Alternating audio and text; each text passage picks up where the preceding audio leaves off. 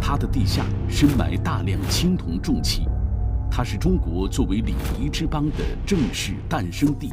我们就通过铜器的组合，发现了商周之间的革命性的变化。九鼎八簋、钟鸣鼎食，还原出诸侯封国的真实生活。曾国是一个史书上没有记载的国家，仅历史编中就有一百九十九个连读铭文。青铜面具、青铜神树、大力人、黄金权杖，来自古蜀国的文明大放异彩。这一系列的祭祀器物，他们应该都是位于他们应该在的第一现场。历经岁月，中华民族书写的灿烂文明，究竟为何一直延续？敬请收看《考古公开课》特别节目《百年考古大发现》第六集《风雅颂歌》。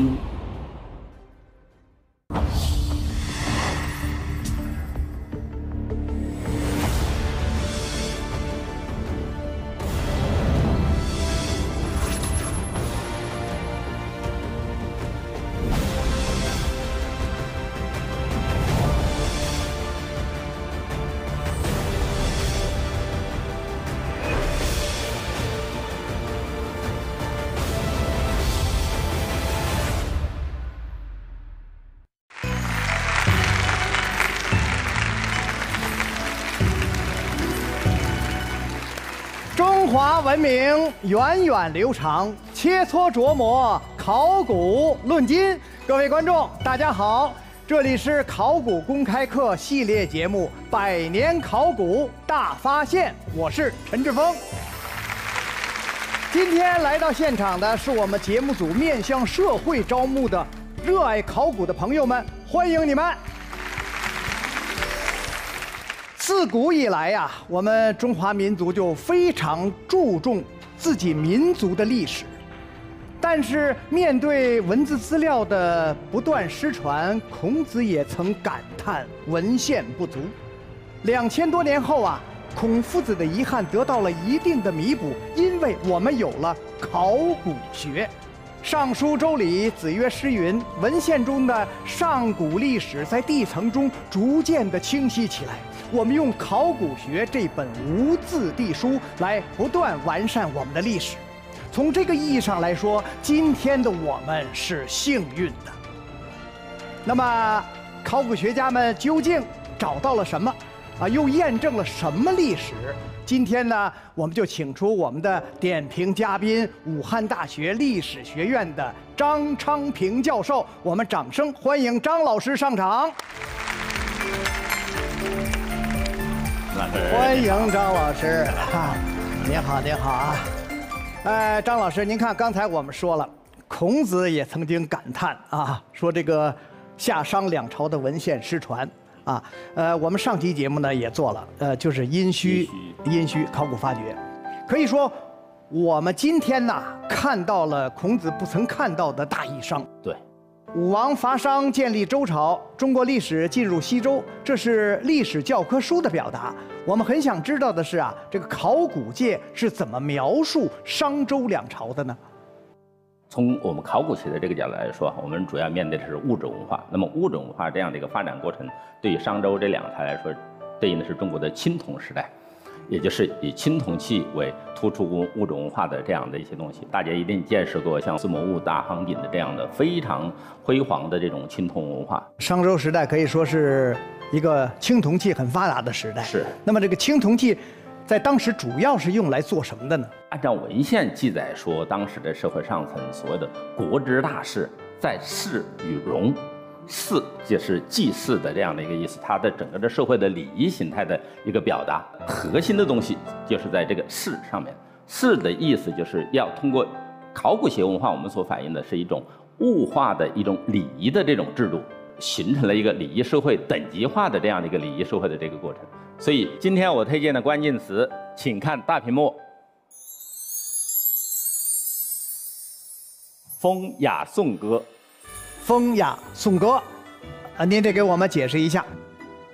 我们刚才讲到啊，呃，商周时期相当于是中国的青铜时代。那么整个的在不同的地区，它呈现出一个不同的一个特色，还包括了不同的社会层次。所以啊，这样的礼制的层次、社会的层次，我觉得这印证了我们《诗经》的一个场景，就是有风雅颂这样的一个颂歌的一个情形。那您今天给我们推荐的第一个项目是什么呢？百年考古大发现。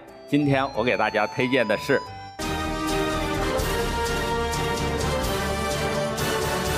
周原遗址。周原遗址位于今天的陕西省宝鸡市扶风岐山一带。一九七六年，我国正式对周原遗址进行了大规模的发掘，从此揭开了一个属于周人的时代面貌。器形巨大、形状饱满圆润的大鱼鼎，镌刻着长文的毛公鼎。记载着最早的中国的河尊，在宝鸡一带接连出现的青铜重器，昭示着周时期青铜文明的大繁荣。沉埋着数量庞大的青铜器的青铜窖藏，分布规律的建筑基址，等级分明的远古墓葬，告诉我们，周原正是古公胆父所迁之起。周人灭商后。依靠着一套特殊的法则，一改殷商之风，开启了昌盛的国运。那么，这套法则从何而来？在周王朝又是如何运行的呢？作为周文化的发祥地，周原遗址或许能为我们揭晓答案。好，现在让我们请上中国社会科学院考古研究所的宋江宁老师，请宋老师为我们讲述周原遗址。欢迎宋老师。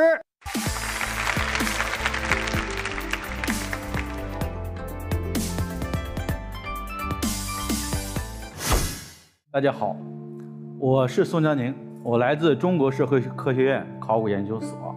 周原遗址的这个考古工作呢，到明年就八十年了。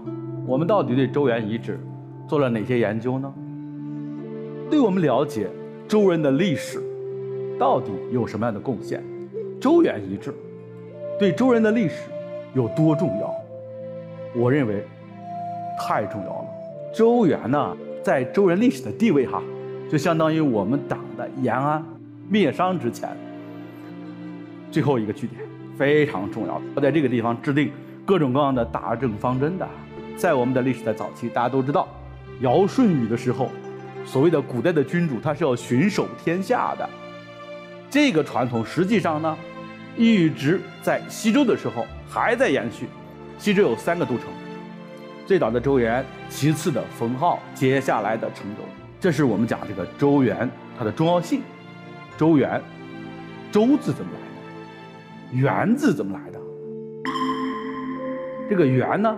是一种地貌单元，它这个圆呢，我们现在写成平原的圆，实际上它不是平原的圆。如果在地质学上的话呢，它是提土旁加一个平原的，它是有一定的坡度的。比如说大家都知道有名的李商隐的诗歌“向晚意不适，驱车登古原”，还有呢有名的陈忠实的《白鹿原》，其实都是这种圆。这种圆对考古学来讲至关重要。最早期的人类。最适宜居住的地方就是这种有坡度的园。文言中讲过：“周原无物，景土如夷。”说这个地方土地特别肥沃，然后这个物产非常丰富。就是在别的地方呢，吃起来很苦的菜，那就不能吃的菜，在这个地方都是甜的。这就是我们周原它自身自然条件的一个优越性。那么这个“周”字怎么来的呢？它跟周人有关系吗？历史学家给出的解释是：先有了周原这个地名，然后周人过来的时候，我也叫周人吧。考古学家呢，给出了另外一个答案。通过研究发现，在殷墟的甲骨里边出现了“周族”这样的字样。那么我们就有理由去推测，说：哎，周人这个名字，周族这个名字早都有了，很可能是他来到了这个原之后，说：哎，这个地方叫周原。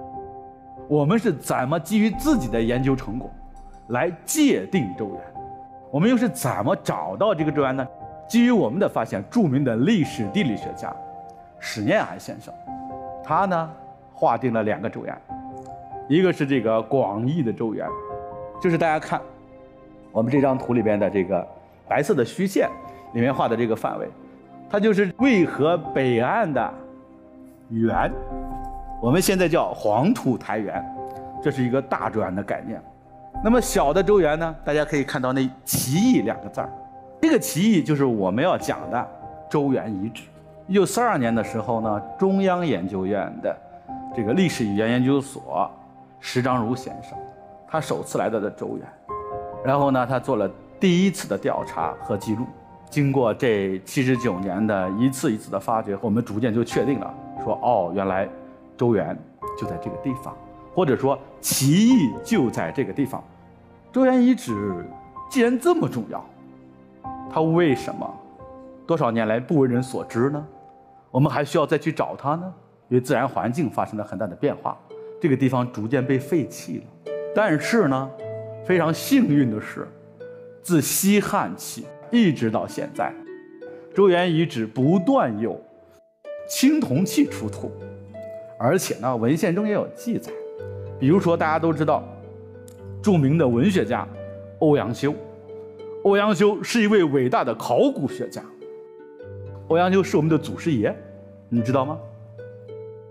他要研究历史，结果那个时候恰好出现了一批从地里不断出土的或者流传下来的铜器和石刻，然后他就用这些资料来研究历史。所以呀，他还真可以算作我们的祖师爷之一了。但是呢，出土青铜器呀，最多、时间最集中的是在清末和明初这个阶段。我们来介绍一件晚清时期的四大国宝。我们可以看看这一件，这件鼎非常大，对不对？好像造型也比较简单，是吧？比较温和，这就是我们周礼的表现。这就是我们周文化的特点，我们不会那么凝厉，不会那么咄咄逼人。这就是著名的毛公鼎，四大国宝之一的毛公鼎。这个鼎呢，是周宣王时期的，就是西周的倒数第二个王，就烽火戏诸侯的幽王的爸爸啊。那么里头呢，有四百九十七个字儿，就到目前为止都是铭文最长的一个铜器。我们还有另外一件。左手的这个鼎，这个鼎呢有两个点，我先给大家说第一个点，它叫善夫客，就是它的主人叫客。这个善夫呢，善就是我们吃饭用膳的膳，夫呢就是这个农夫呀、渔夫的夫。善夫是一个官职，这个职务是负责周王的饮食的。第二个点呢，大家看这个鼎其实很大呀，我们不相信一个管灶的能做起这么大的鼎。而且在当时那种等级观念下，他能高到什么级别？他是不配的。所以我们就知道这个单夫呀，他可能是近臣，他有很大的权力。所以他有第二件事，周王曾经派他去视察成周八事，然后派他去视察这个军事力量去。大家就知道，他可不是管灶的了吧？他可能副业才是管灶的。我们先看看这个强盘。其实呢，这个发现也是有偶然性的，也是老百姓在取土的时候呢发现这个，但是大家觉悟很高，知道考古队常年在那个地方，所以立刻就报告了考古队，所以非常感谢这个群众。这个盘呢，大家觉着有什么好的？好当然是很好了嘛，但是好在哪儿呢？它里面这个铭文里头呢，我们讲它的这个左手这边，这是的下篇哈，商灭亡后。好多商的贵族就被迁到在周原了。那么他家他们家的祖宗呢，可能是商王纣的哥哥叫微子启，可能是微子这一支的，所以他们家家族呢是微，我们也把它叫微氏家族。他的高祖啊来到了这个周原，周公就给他安排了一块地儿，让他家住在这儿，就世世代代到他这一代。一直在王室里边做史官，历史的史，这是最早的史官，文献中记载的哈，最早的史官的家族。当然，这也是中国第一个完整的家族世系。那么还有一个很重要的第二个点呢，我们第一次见到了系统的周王的世系，因为这个强这个人呢，他只活到了这个公王时期，所以他的上一篇里面记周王的时候是文王、武王、成王、康王、昭王、穆王、公王，就这样记下，记得周的七代王。接下来呢，终于大牌登场了，周原为什么是都城？我们总希望有点王的东西嘛，对吧？这就是一个周王的东西。这个周王呢也是非常有名的，但是他的有名不是因为他的好，是因为他的昏庸和他的这个糊涂。周厉王，他这件青铜器其实是真不错的哈，是西周时期最大的、最高的、最重的一件，我们把它叫鬼王，啊，就是它。我刚才讲的这个，大家听啊，都是一件一件的这个铜器的故事。但是实际上，我们研究的是整体的观念，我们就通过铜器的组合，发现了商周之间的革命性的变化。比如呢，这是商的铜器组合和周的铜器组合，你们觉得哪个是商的，哪个是周的？大家看左手中间，下面是两个爵，上面是两个孤，这个右边还放了两个盛酒的东西，九件东西里头，六件就是喝酒的。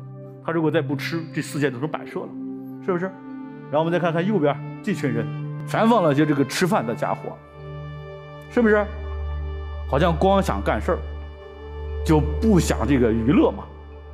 其实呢，这就是周礼的特点啊。他从重酒的组合，到了重礼的组合。他从迷迷糊糊中要去寻找神，和我们清清醒醒的要做人。接下来我们看看。古公胆父，就是古公胆父是这个文王的爷爷，啊，武王的爸爸的爷爷，啊，所谓的几代雄主的第一位啊。古公胆父他来到齐夏之后呢，他做了些什么？他在这个地方呢，文献中记得很清楚，说百堵星星，一堵墙一堵墙，它建立城市，对吧？我们讲有城墙，这是一个指标。然后呢，它要建宫室。我们在发掘中呢，还发现了一个可能是。那个时候的建材非常大的空心砖，但是我们现在不能确定，它到底在哪个部位。我们只是想它应该是建材，还有大量的这个陶器上刻的这个周字，我们叫陶文周啊，都显示呢，它在这个地方已经建立了一座城市啊，就这个周字啊。周原呢，在灭商之后，就迅速的得到了这个发展，所以呢，在西周早期，周原就成了。整个周王朝的疆域内，最大的一个城市，我们有最多的青铜器，我们有最多的大墓，我们有最复杂的水网系统。我们周原这个时期还是个经济中心呐，我们建立了整个西周时期最大的手工业作坊，最大的制骨作坊啊。当然，制骨作坊女同志应该感兴趣一点，因为制骨作坊是为你们服务的，一个是让你们享受的，一个是让你们劳动的。享受就是做簪子。一头牛可以做七十多个簪子，副产品是做针的，你们就好好的干活吧。这是我们对西周早期的一个介绍。那么到了西周中期之后呢，这个城市你们知道扩大了多少倍吗？很难出现的情况，即使在现在城市扩张的狂潮中都很难见到一个城市扩两倍。扩大的这个两倍的这个范围之内，到底放了些什么呢？出现一个巨大无比的一个贵族居住区，考古学上讲呢，就实物遗存的话讲什么？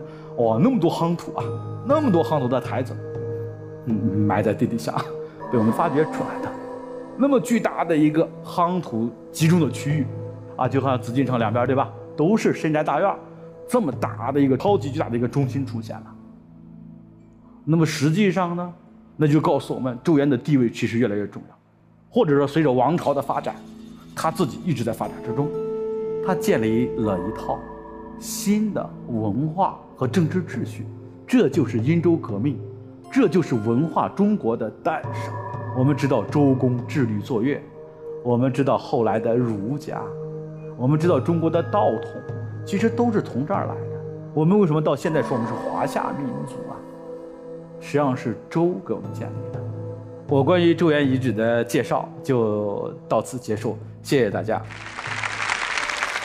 谢谢，来来来，请坐，请坐。来，请坐。对，谢谢宋老师，非常精彩、非常生动的讲述啊！我们大家都知道，这个周原遗址所处的这个陕西宝鸡被称作青铜器之乡。您讲了很多啊，其实就还有一件国宝级的文物啊，我想在这儿呢也要特别的给大家介绍一下。我们一起来看大屏幕吧，这就是何尊。啊，张老师给我们特别的得讲一讲这个何尊。这个何尊呢，是这些年我们非常有名的一件器物哈，因为它这个铭文里边有这个呃，我们中国这个词组最早出现的这个“泽兹中国”，何尊这个器物哈，它是长方形的一个筒形的这种器型啊。其实是晨曦殷墟以来的一个形制，包括它的纹饰，我们可以看得到兽面纹、两个眼睛盯着兽角等等，其实是晚上以来的一个传统。但是周人经常会有长篇的这个铭文，这个铭文它讲的意思就是讲的是周灭商以后，武王，呃，到成王，他一直想把这个呃都城。统治中心迁到这个陈州，也就是现在洛阳这个地方，所以叫泽兹中国。中国这个词，这是在文献里边，我们现在知道是最早出现的。在这个时候，还不是指一个国家，而是指国之中的这样的一个一个概念。现代意义上的中国这个词，其实是中国在近代步入了国际之林以后，成为一个政治概念，成为中国的。但是最早的源头是来自这件尊，所以它具有特别重要的意义。我们知道这个孔子特别推崇周朝，尤其是周礼啊。他曾经说过嘛，说“郁郁乎文哉，吾从周”，是吧？呃，张教授，我想问问，就在您看来，呃，周原遗址考古发现它最重要的意义是什么？周原出了大量的青铜器，而且经常有长篇的铭文。那么通过这样的一些文字呢，我们可以了解到传世的那些文献看不到的。你比如说关于土地的交换。关于一些贸易的情形等等，包括一些制度性的这样的一些记载的内容，这是铭文给带给我们的一些直接的这样的一些内容。周原还有非常多的青铜器的窖藏，这个我们就能观察到整个的一个周代社会的物质文化的这种变化。周代的这种制度性的变化，其实不是出在商和周之间。比如说我们刚才介绍的何尊，何尊我们还能看到是晚商的一个风格，而到了西周中期的这个时候。周人自己的一套政治系统就出现了，就是我刚才说的鼎轨制度，用列鼎和列轨的这种一种数列式的方式来代表一个社会的等级。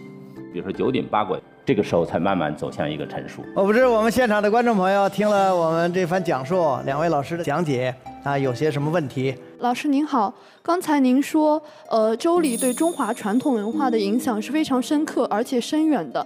那么，礼乐文明中哪些文化传统是得以延续至今的？我们更能直接看到这样的一些传统在我们当代社会的，比如说我们祭祖的时候，在你们家的桌子上也会摆出碗，里边装上饭，酒杯子里边装上酒，这是一种以器皿来代表一种对古人的一个敬献的这样的一个过程。这个其实就是和我们古代的这样的一个礼制的一个直接的，可以说是一个延续。而为什么是装着饭和酒？这个饮食的系统又是我们中国文化大大的区别于西方文化的一个非常不一样的一个方向。所以我们讲到“民以食为天”，其实是我最近这个体会特别深刻的一个事儿，就是在这个新冠疫情爆发期间啊，这个我们国家采取的政策是什么？每一个老人都要保孝道这个概念，我想所有在座的诸位都能够理解啊。对我们来讲，怎么可能不救老人呢？孟子讲过：“老吾老以及人之老，幼吾幼以及人之幼。”啊，我们这次的重点是什么？不就是老人和孩子吗？我觉得这是我们最核心的价值，这就是从周礼传下来的。我愿意，我最愿意讲的周礼的东核心吧。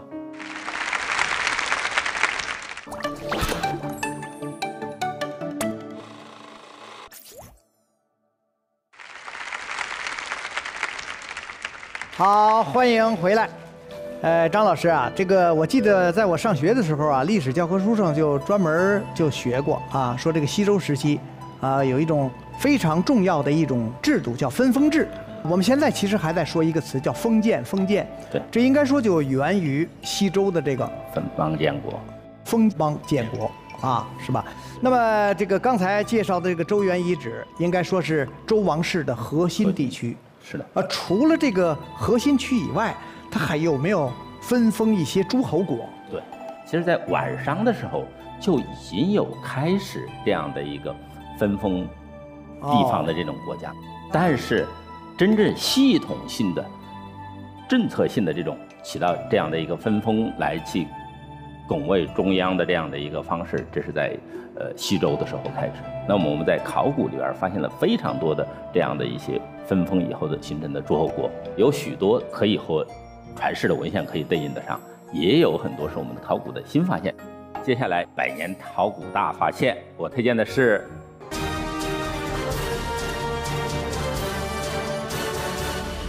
曾国墓地。一九七八年，在湖北随州出土了一套大型礼乐重器编钟。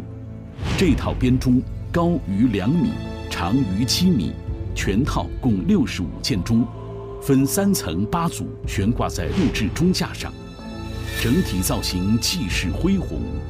经考古证实，这套令人叹为观止的编钟正是曾侯乙编钟。然而，令人疑惑的是。曾侯乙从哪里来？曾国又在哪里？曾国的始封从什么时候开始？又是什么时候灭亡？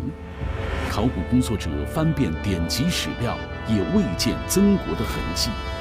曾国在传世文献中几乎没有记载，但是种种考古发现却在证实，曾国显然是一个周代姬姓诸侯国。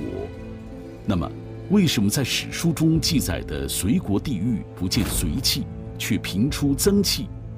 这个被享有地下音乐殿堂美誉的曾侯乙墓揭开的尘封了两千多年的曾国，到底有着什么样的历史真相呢？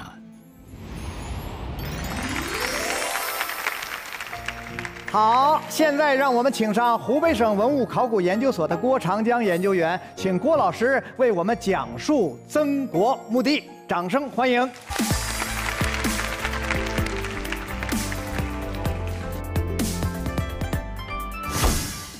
大家好，我是湖北省文物考古研究所研究员郭长江。在我讲述之前呢，我想请大家先一起听一段声音。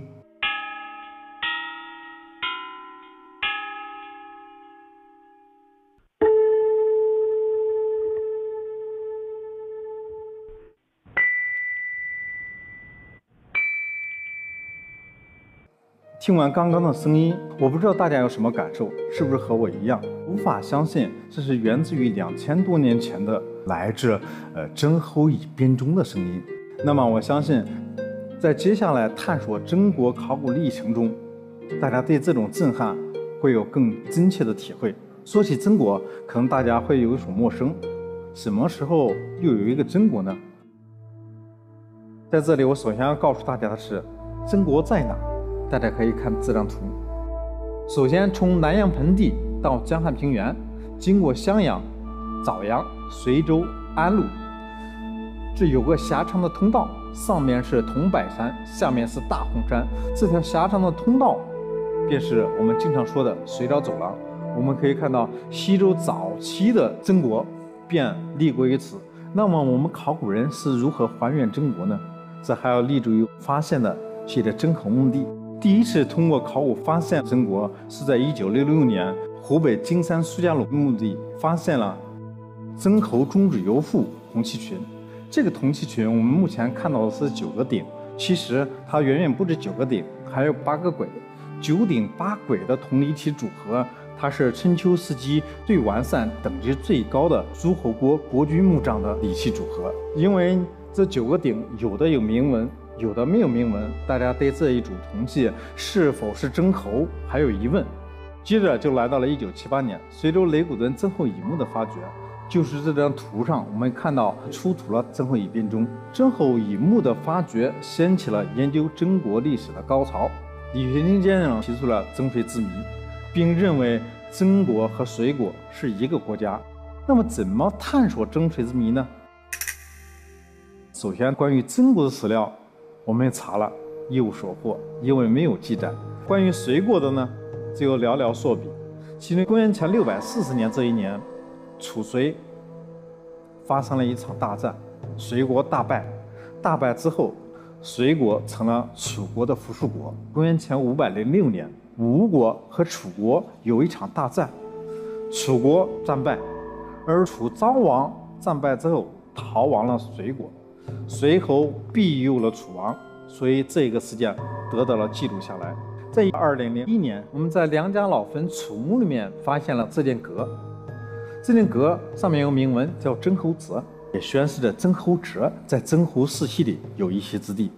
时间我们来到了一九九四年，在随州义地港东风油库，我们发现了三座墓葬，其中在 M 三里面，我们发现了这件鼎，这件鼎的话，上面有铭文，叫曾侯月，而这个墓主人是谁呢？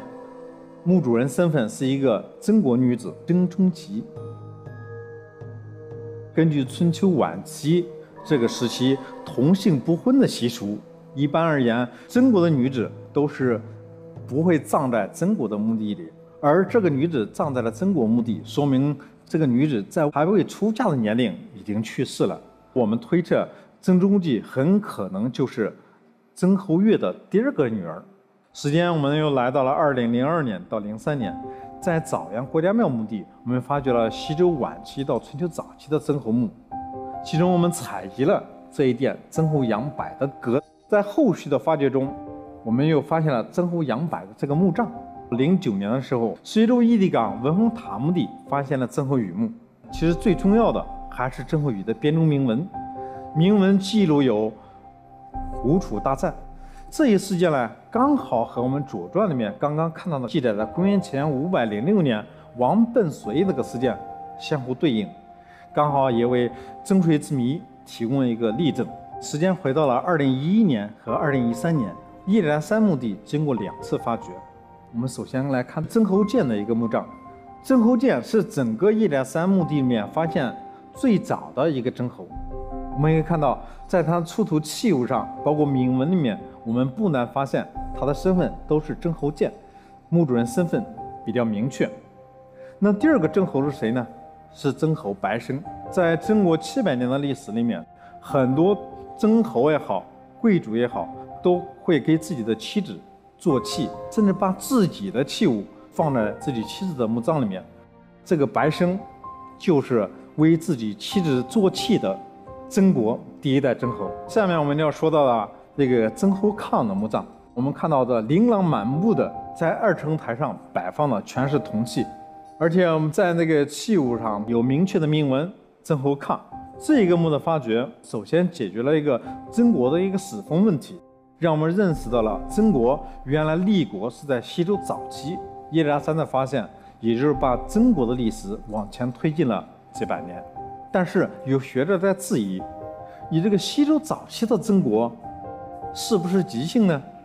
和后面我们所说的曾国，西周晚期到战国中期的曾国是不是一个国家呢？我们看铭文，上面说抗作列考南宫，抗为南宫做了这一套器。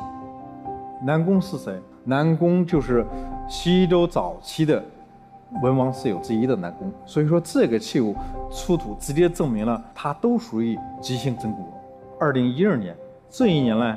我们发现了文峰塔墓地，最主要的发现，我们来看曾侯丙。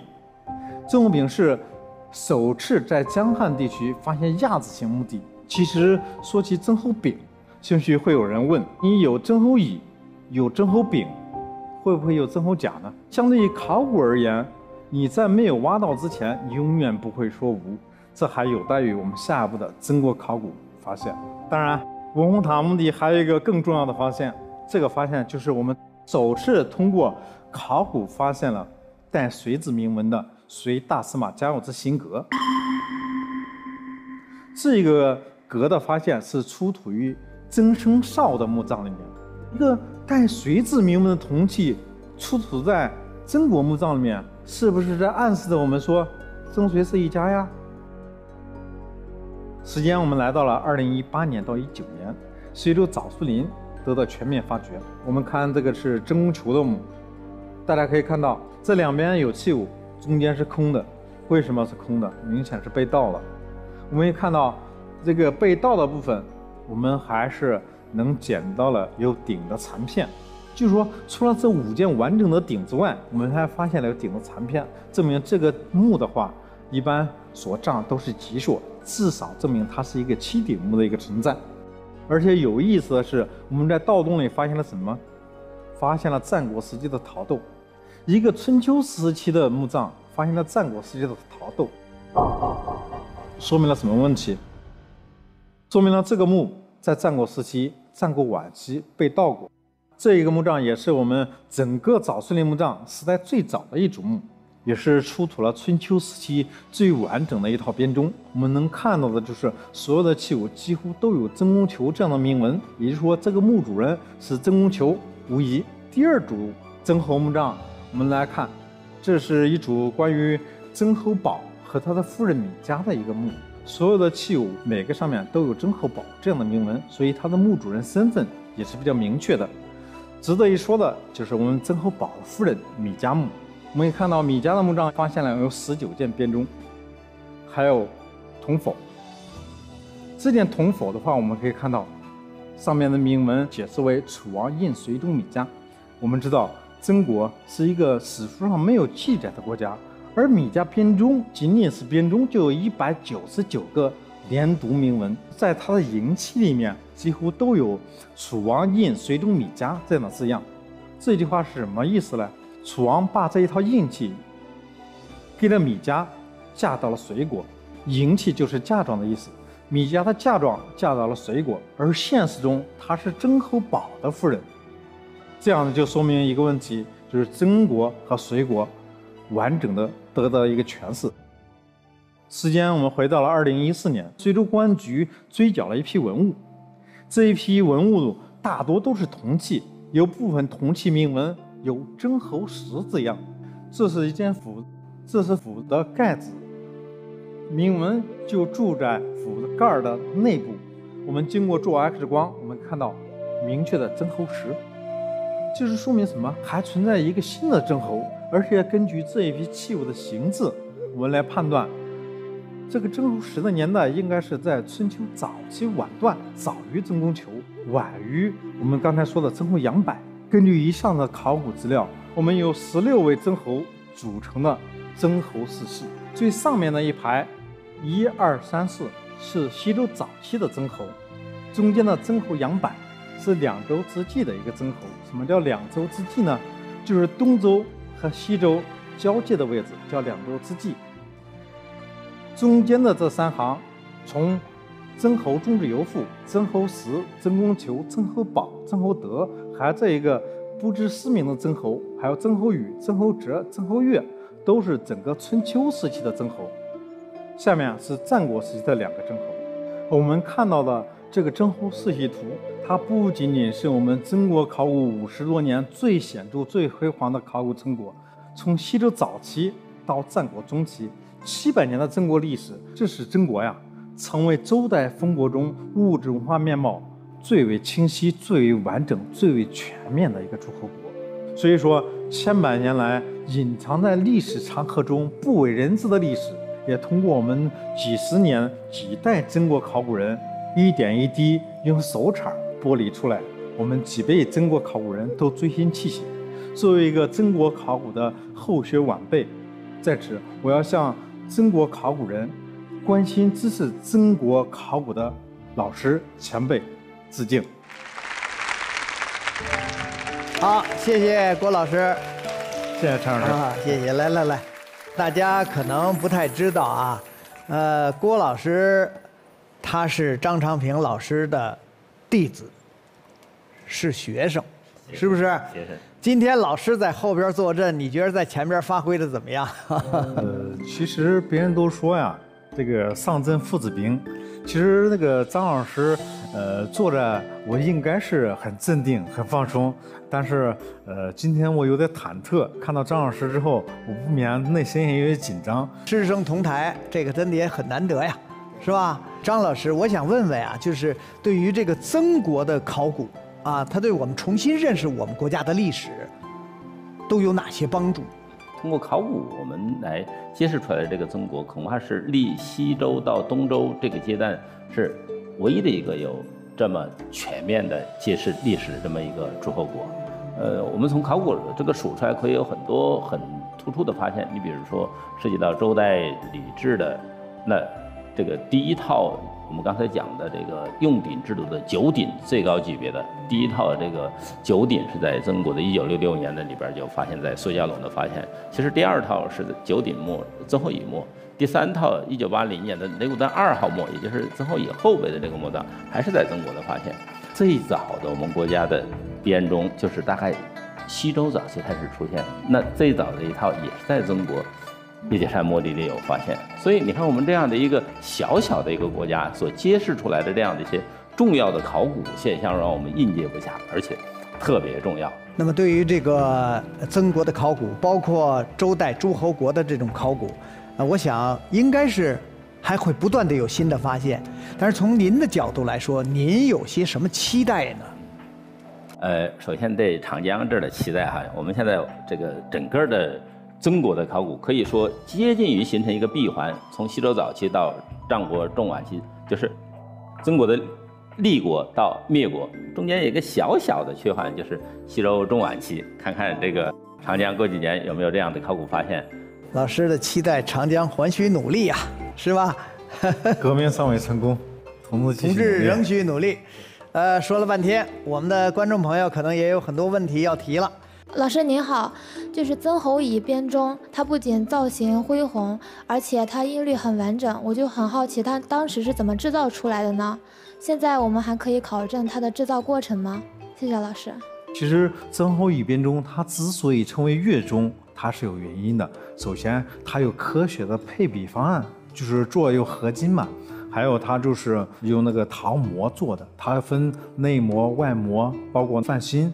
然后，比如举一个简单例子，就是小模型，正好可以拿它说。就就这一个呃泳钟的出现，其中我们可以看到它是由一百二十六块来组成的一个这个曾侯乙编钟，它是有五声十二音一百三十律，这个就告诉我们里面它是有刻音槽。这个做好之后，首先对刻音槽进行打磨。对它每个跟每个都不同。对对对对，每个打磨，它要 打磨出哪是高音，哪是低音，就一中双音的一个存在。所以说这个的话，它制作工艺是相当复杂。好，感谢两位老师精彩的解答，请郭老师稍事休息，我们进一段广告。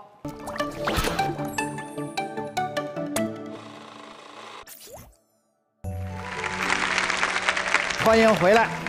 张教授，刚才我们介绍了这个周天子所在的这个周原遗址，是吧？呃，还有诸侯国的这个代表曾国墓地。好，张老师，那您接下来要向我们推荐的是哪一个项目？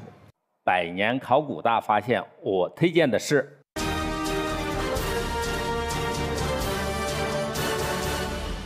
三星堆遗址。三星堆，一个神秘的名字。三十多年前对它进行的考古发掘，就曾经震惊世人，被誉为二十世纪最重大的考古发现之一。三十多年后，对它启动的新一轮考古发掘，带给我们更大的惊喜。截至目前，新发现的六个祭祀坑出土青铜器近千件，许多器物竟是从未发现过，各种金器、玉器。陶器闪耀着数千年的光辉来到我们面前，让我们对古蜀文明充满各种猜想。三星堆遗址以它独特的前所未见的古代文明信息，正吸引着全世界的目光。那么，三星堆遗址为何会有这些发现？三星堆文明为何与已知的中原文明如此不同？三星堆考古新发现。能否解开古蜀国的谜团呢？好，现在让我们欢迎四川省文物考古研究院三星堆考古研究所所长冉红林老师，请冉老师为我们揭秘三星堆。欢迎冉老师。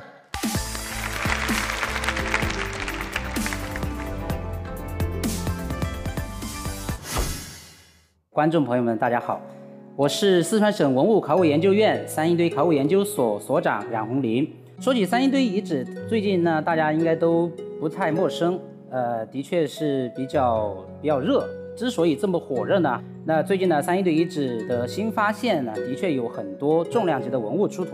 所以我们可以看到的是有这种呃黄金的金面具，还有鸟形的金饰片，还有就是青铜的方尊和圆口的圆尊，以及我们可以看到的玉章和象牙等等。实际上，在呃过去的九十多年间啊，就是三星堆遗址的考古工作和研究一直是在按部就班的开展着的。那通过这么长时段的有系统的这个工作和研究呢，目前三星堆遗址的一些基本情况，呃是比较清楚了。也因此呢，我们从二零一九年开始呢，就开启了三星堆遗址新一轮的考古工作，实际上是聚焦到古蜀人这个人本身上面，他们当时是吃的什么，衣食住行是什么样子的，然后他们是怎样一个组织结构，他们是处于一个什么样的阶层，是怎样一个族群，像这些呢，就是我们考古学上来就叫聚落考古和社会考古。正好呢，一九八六年在三星堆这个地点呢。就抢救性发掘了一号坑和二号坑，当时这两个坑的发掘呢，实际上是非常仓促的，也由此呢遗留下了很多没有解决的问题。二零一九年开展的新一轮的工作呢，正好给了我们这么一个机会，让我们去弥补一九八六年发掘一号坑和二号坑所留下的这些遗憾。在正式开展工作之前呢。我们根据一号坑和二号坑的一个位置关系，然后去推断我们自己一直坚定存在的第三号坑的位置，就布设了五条探沟，然后这五个探沟的发掘就从二零一九年的十月二十二日正式开启，到十一月二十六日的时候，我们终于在三号探沟的东南角发现了一个大致呈直角转弯的一个遗迹。哎，我们都知道，在考古学上，一旦像有这种直角转弯的遗迹呢，一般都非常的重要。所以我们当时就在现场就推测，这个坑呢，有可能就是我们一直在苦苦寻找的第三号坑。到十二月二日的时候，就终于露出来了第一件青铜器。这个青铜器呢。后来呢，在三月底直播的时候，我们提取出来是一件这个大口尊。后来呢，陆陆续续又发现了这个四到八号坑。新发现的这六个坑呢，目前看起来可以分为两个大类。呃，第一类就是三号坑、四号坑和七号坑以及八号坑。可以看，那这四个坑呢，跟之前一九八六年发掘的一号坑和二号坑，就那个粉红色的，比较接近。它们的面积都相对比较大，超过八平方米，然后深度一般是在一点六米以上。里边的埋藏文物多数是比较大的这种青铜器、玉石器和金器。然后呢，除此之外呢，还有一些未经过加工的呃原始的象牙。除了这些器物之外呢，在这些一类坑里边，我们还发现有一些细碎的灰烬和烧土颗粒。第二类坑呢，就是五号坑和六号坑，这两个坑呢，面积非常小。呃，一般呢不超过五平方米，然后深度是在一米以下，然后里边的埋藏文物呢都是非常细碎的。六号坑呢相对来说不太一样，就只是那种呃烧过但是又原味放到这个坑里边的这种木箱子。上述所展现出来这两个类坑的这个不同，可能不太像是当时古蜀人无意识的一个行为，更像是有。有意造成的不同，那这种不同呢，很可能就是性质上的不同。首先来说，这个第一类坑的年代，其中四号坑的测年结果，也就是距今三千二百年到三千年，呃，属于商代晚期。这几个坑里边的文物存在着这个跨坑拼接的可能性，也就是说，一件文物它碎成多件碎片，然后分别埋到这个不同的坑里边。由此呢，我们就可以确认这几个坑的年代大致是同时的。这个八号坑呢，跟其他坑不一样，这个八号坑里边出土的呢有大量的烧土颗粒，我们还可以确认它是属于建筑的墙壁残块。哎，我们都知道，这个一般来说啊，就是正常的祭祀和比较特殊的疗祭和毁物的这个祭祀习俗，可能他们那个烧的和毁坏的都是属于具体的器物。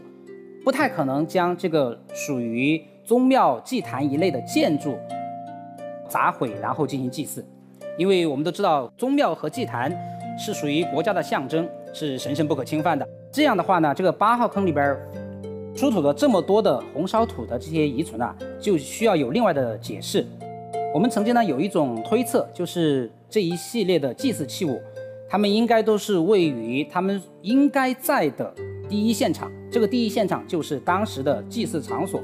那么在这个祭祀场所里边有一个宗庙建筑，然后在这个建筑里边放置的是这些呃用于祭祀的青铜器、玉石器和金器。后来因为某种自然或者人为的原因，宗庙建筑失火了，房倒屋塌，将这个房子里边放置的这些器物砸坏了。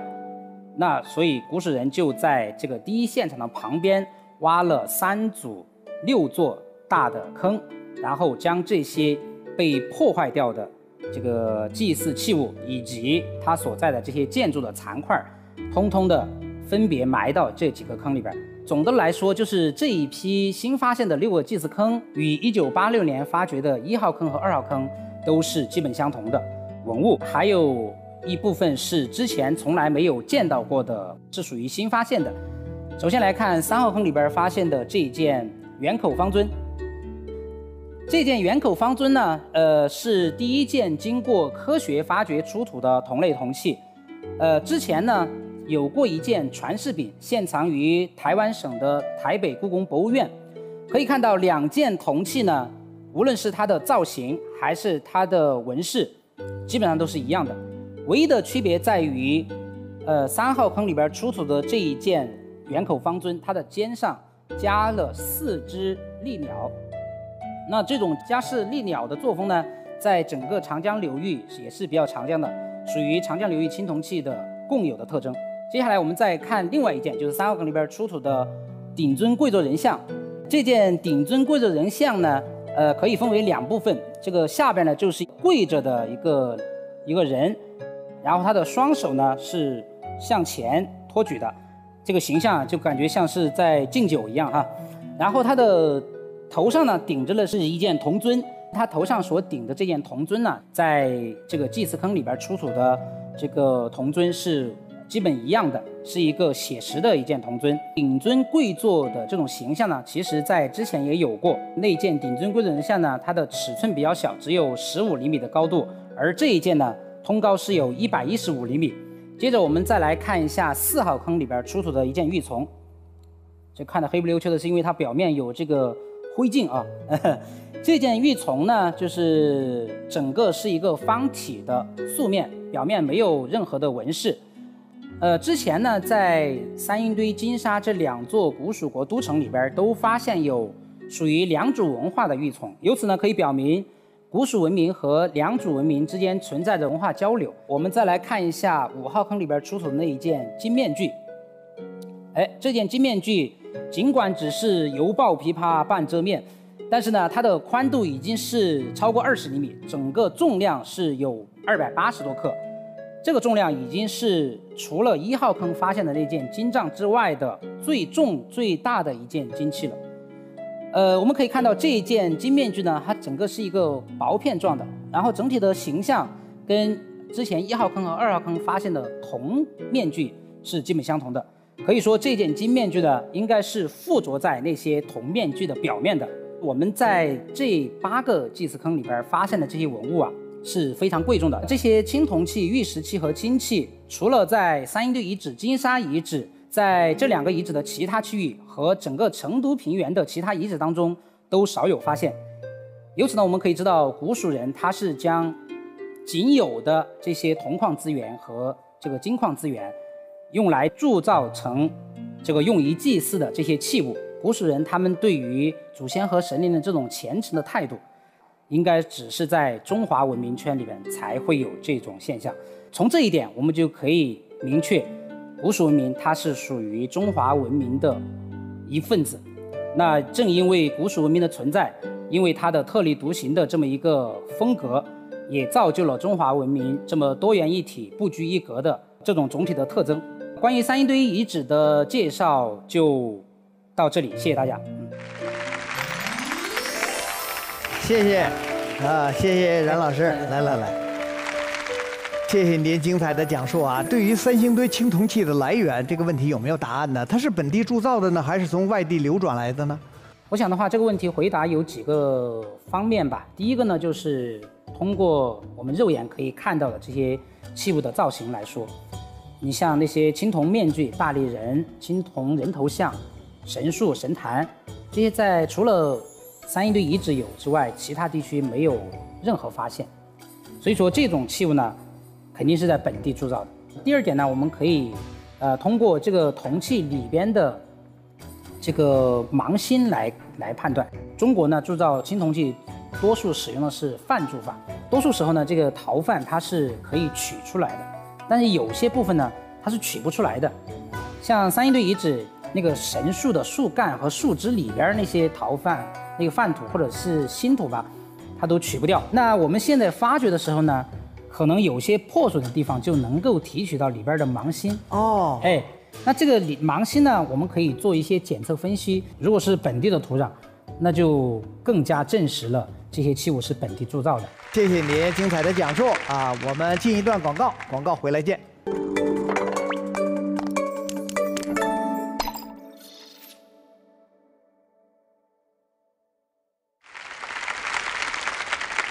好，欢迎回来。听完两位老师的点评和讲解，呃。观众朋友有什么问题可以提出来？老师你好，我们知道那个三星堆遗址出土的呃人像还有面具，就跟我们就认知中的人或者是中国人吧的样子不太一样，就是因此就有这么一种说法，说是三星堆呃文呃三星堆文化属于一种外来文明的这种说法。我们。